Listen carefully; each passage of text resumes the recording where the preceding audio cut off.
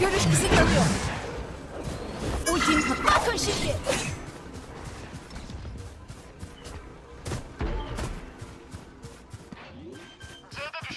Ne görecekler ki?